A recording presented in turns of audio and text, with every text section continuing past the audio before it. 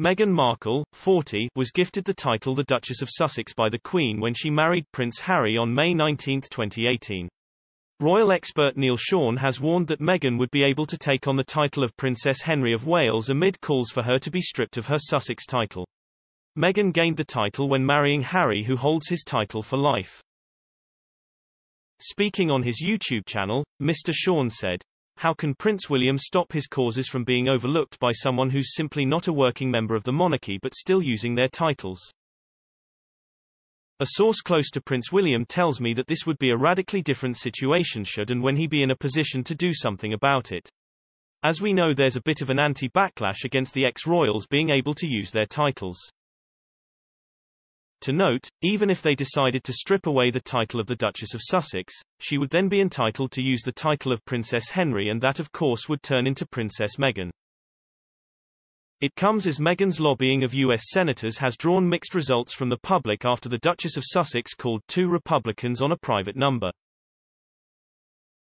The 40-year-old's actions have been described as just on the edge by royal expert Angela Mollard. She added that it was very clever of Meghan. Speaking to the Australian morning program Sunrise, Ms. Mollard said, I think what Shush is doing is being very, very clever.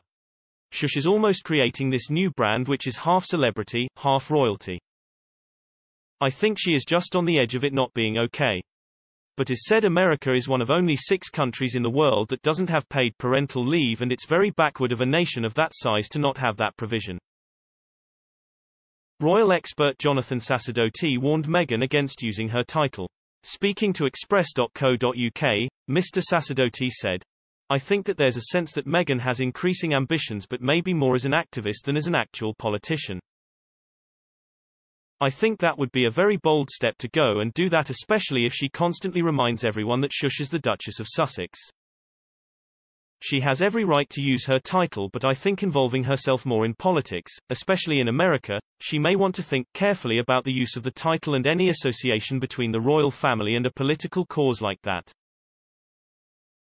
It is a political cause that many of us might support but regardless, to appear in more political contexts in America, I think would be increasingly challenging for somebody who is still keen to tie themselves to the royal family. Of course, that doesn't mean she won't do it.